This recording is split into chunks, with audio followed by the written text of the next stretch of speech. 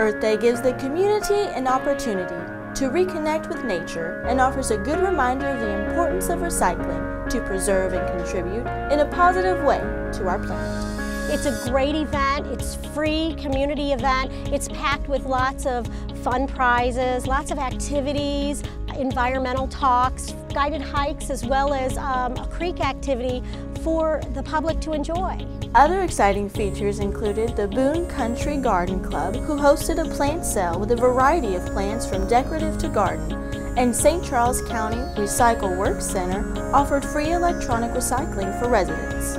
Children had the chance to make onion towers, bird feeders, and other crafts made completely with recycled materials. It truly is a great event for the whole family. So we're really enjoying uh, coming to the event. It's been a really nice day and we love that the kids can learn about being outside and learning about recycling and, and about the earth and how to help. So we're really enjoying We definitely will come next year.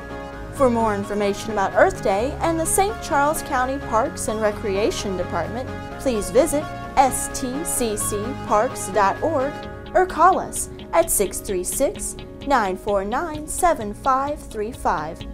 A special thanks to Earth Day event sponsor, Renewal by Andersen.